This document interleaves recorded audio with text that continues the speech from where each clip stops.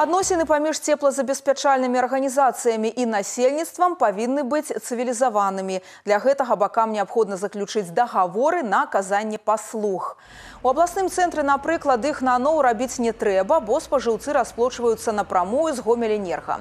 А ў астатніх гарадах і населеных пунктах разлікі насельніцтва з энергетыкамі вядуцца праз арганізацыі з жыллёва-камунальнай гаспадаркі.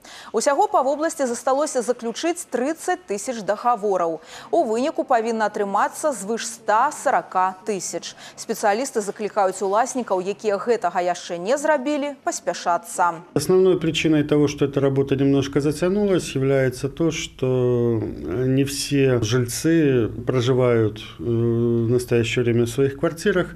Вот, приходится их разыскивать и каким-то образом э, заключать эти договора.